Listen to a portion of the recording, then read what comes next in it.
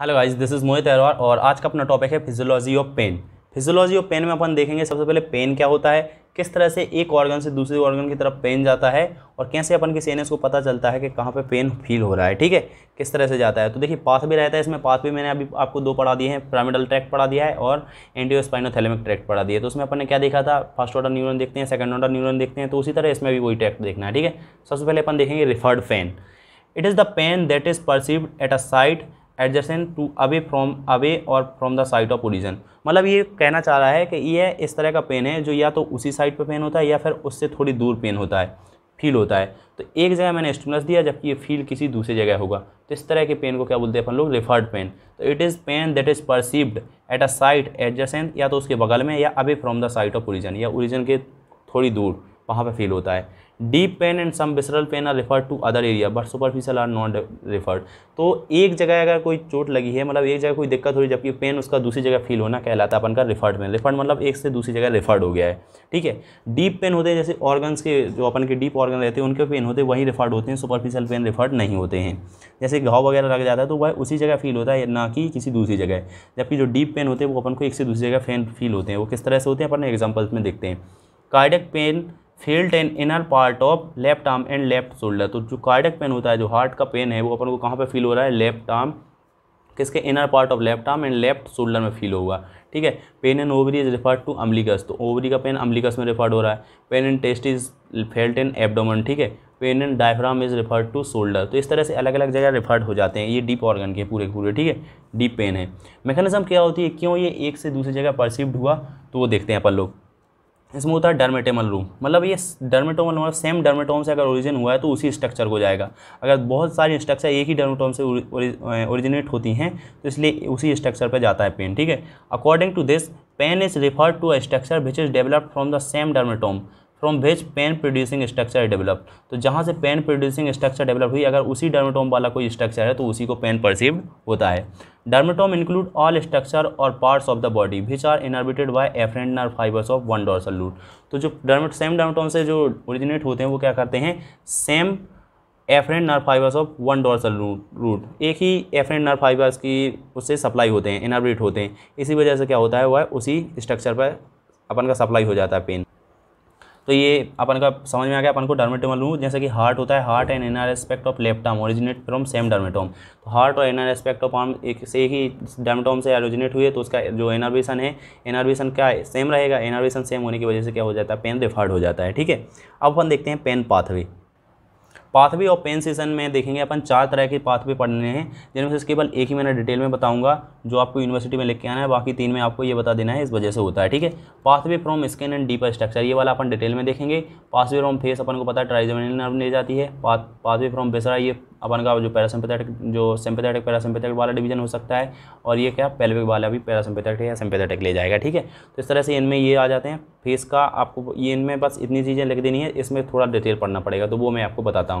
सो अब अपन देखते हैं pathway from skin and deeper structure तो इसके लिए रिसेप्टर क्या होता है? स्किन में मैंने आपको पहले बताया शुरुआत में किया था कि इसमें फ्री नर्व एंडिंग जो रिसेप्टर रहते हैं, क्या होते हैं? फ्री नर्व एंडिंग होते हैं, ठीक है?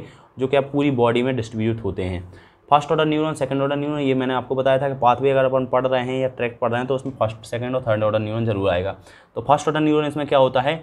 Or posterior nerve root ganglion. इसमें क्या होता है? पोस्टियर नर्व रूट गैंग्लियन होता है, जो क्या करता है? Receive impulse of pain sensation from receptor तो रिसेप्टर सबसे पहले ये अपन देख सकते हैं, यहाँ पे मैंने ये इम्पल्स दिया। ये स्टिमुलस दिया, यहाँ से क्या हुआ? सबसे पहले ये इम्पल्स जा रहा है कहाँ पे? पोस्टियर नर्व रूट गैंग्लियन, जो क्या है? First order neuron first order neuron है। फिर यहाँ से कहाँ पे जाएगा अपन के? ये हैं सेकेंड ऑर्डर न्यूरॉन ये दो सेकेंड ऑर्डर न्यूरॉन ठीक है? तो यहाँ पे जाने वाला है। फ़र्स्ट ऑर्डर न्यूरॉन आ गया। अब इसमें क्या होते हैं? फास्ट पेन फाइबर्स और स्लो पेन फाइबर्स। तो देखिए, दो तरह से जाता है अपन का पेन। एक तो बहुत तेज़ी से जाता है बहुत स्लोली जाता है। तो ये डिपेंड करता है कौन से न्यूक्लियर तक जा रहा है, ठीक है? Fast pain sensation are carried by A delta fibres A delta fibres जो होते हैं, इनकी वेलोसिटी ऑफ़ इम्पल्स बहुत ज़्यादा होती है। क्यों? क्योंकि बहुत थिक होते हैं। Synapse with neurons of marginal nucleus तो ये कहाँ पर साइनप्स करते हैं? मार्जिनल न्यूक्लियस पे। मतलब जो भी फाइबर्स मार्जिनल न्यूक्लियस से अटैच होगा, वो क्या? फास्ट पेन सेशन कराएगा। और स्लो पेन फाइबर्स कौन से होते हैं? Slow pain sensation carried C type of fibre. Slow fibre जो हैं, सी टाइप ऑफ़ फाइबर्स होते हैं जो स्लो पेंसेशन ले जाते हैं। Synapse with neuron, neurons of substantia gelatinosa of Rolando. इस न्यूक्लियस का नाम याद करना है आपको। एक होता है मार्जिनल न्यूक्लियस, एक होता है सब्सटेंसिया जिलेटिनोसा ऑफ़ रोलैंडो होता है, ठीक है? तो ये दो न्यूक्लियस आपको याद कर लेने हैं। सब्सटेंसिया जिलेटिनोसा ऑफ़ रोलैंडो क्या करता है? स्लोपेन फाइबर्स, जबकि मार्जिनल न्यूक्लियर क्या करता है? तेज। तो एम से मैसी कर लेना और इससे रोनाल्डो कर लेना, ठीक है? तो इस तरह से अपन को याद हो जाएगा। यहाँ पे अपन देख सकते हैं, यहाँ पे देखिए ये मार्जिनल न्यूक्लियस होगा, ये ये सब्सटेंसिया जिलेटिनोसा ऑफ़ रोलैंडो होगा, ठीक है? अब अपन देखते हैं second order neuron second order neuron क्या है? By marginal nucleus plus substantia gelatinosa of Rolando तो जो मार्जिनल न्यूक्लियस से जो ट्रैक्ट बनेगा, वो बनाएगा न्यू स्पाइनोथैलेमिक ट्रैक्ट और जो सब्सटेंस जिलेटिनोसा ऑफ़ रोलैंडो से जो ट्रैक्ट बनेगा, उसको बोलेंगे अपन लोग पेलियो स्पाइनोथैलेमिक ट्रैक्ट तो ये फास्ट है और ये कैसा है? स्लो है। मैंने अभी बताया था ना आपको, ये फास्ट है स्लो न्यूरॉन है। Fibres from this neuron ascend form of lateral spinothalamic tract तो इनसे जो असेंड होंगे फाइबर किस तरह से होंगे? लेटरल स्पाइनोथैलेमिक के रूप में जो ऊपर की तरफ़ आएँगे, ठीक है? असेंड होंगे। उसके बाद क्या होगा? थर्ड ऑर्डर न्यूरॉन तो थर्ड ऑर्डर न्यूरॉन मेनली मैंने आपको न्यूक्लियस ही बताया अभी तक। न्यूक्लियस के अलावा यहाँ पर एक दो चीज़ें और आ जाती हैं। रेटिकुलर फॉर्मेशन टेक्टम और grey matter surrounding aqueduct of Sylvius aqueduct तो अपन ने पढ़ी होगा फोर्थ वेंटिकल वाला। तो इसके अराउंड जो ग्रे मैटर होता है, इस grey matter of grey matter surrounding aqueduct of Sylvius ठीक है? और टेक्टम है टेक्टम एक न्यूक्लियस है, जो क्या होता है?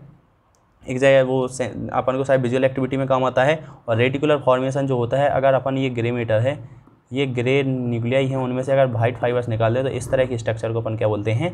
रेटिकुलर फॉर्मेशन बोलते हैं। तो ये इस तरह से ये थर्ड ऑर्डर न्यूरॉन हो गए अपन के। अब इसके बाद क्या होता है? Centre for pain sensation pain sensation तो इसके लिए क्या होते हैं? दो सेंसर्स जो होते हैं post central gyrus of parietal cortex. तो पैराइटल कॉर्टेक्स का post central gyrus and fibres reaching hypothalamus are concerned with arousal mechanism due to pain stimulus. तो एरोजल मैकेनिज्म मतलब एक्टिव टाइप के हो जाते हैं पेन की वजह से। तो ये हाइपोथैलेमस में भी कुछ फाइबर्स जाते हैं और कुछ जाते हैं, अपन के पोस्ट सेंट्रल गायरस में, ठीक है? अब देखते हैं अपन लोग पाथवे फ्रॉम फेस तो फेस से कैसे होता है? कैरिड बाय ट्राइजमाइनल नर्व किसके थ्रू जाता है? ट्राइजमाइनल नर्व के थ्रू ठीक है? और pathway from viscera pathway from viscera कहाँ से जाता है? Pain sensation from thoracic and abdominal viscera is transmitted by sympathetic nerve तो कहाँ से थोरेसिक और एब्डोमिनल वाला कहाँ से गया? सिंपेथेटिक से। और pain from oesophagus trachea pharynx is carried by vagus and glossopharyngeal तो ये कौन सी टेंथ थी और ये कौन सी थी? नाइन्थ थी। तो टेंथ और नाइन्थ से कहाँ कहा जाता है? Oesophagus trachea pharynx carried by vagus glossopharyngeal और बाकी थोरेक्स और एब्डोमिन का कहाँ से? सिंपेथेटिक से।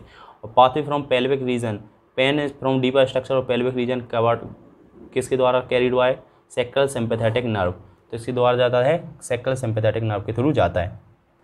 एक बार अपन पाथ भी देख लेते हैं इसका। कि सबसे पहले अपन का क्या हुआ? स्टिमुलस दिया। स्टिमुलस देने पे क्या हुआ? इसका पेंसेशन हुआ। रिसेप्टर ने रिसेप्टर में आया। रिसेप्टर ने कहाँ पे भेजा? फ़र्स्ट ऑर्डर न्यूरॉन जहाँ जो क्या होता है? Poster posterior nerve root ganglion ठीक है, यहाँ तक पहुँचा। वहाँ से सेकंड ऑर्डर न्यूरॉन कहाँ पर होता है? मार्जिन न्यूक्लियर और सब्सटेंशियल जिलेटिनोसा ऑफ़ रोलैंडो फिर वहाँ से ये लेटरल स्पाइनोथैलेमिक ट्रैक के रूप में ऊपर की तरफ़ जाता है, जिसको पेन पाथवे बोलते हैं। ठीक है? और ये ऊपर तक जाएगा तो कहाँ पर? अपन की ये मिड ब्रेन से होते हुए ऊपर की तरफ़ सेरिब्रल कॉटेक्स तक पहुँच जाता है और वहाँ पे पूर्व सेंट्रल गायलस तक पहुँचता है, ठीक है?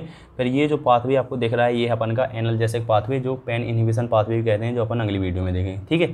Thank you guys please like share and subscribe the channel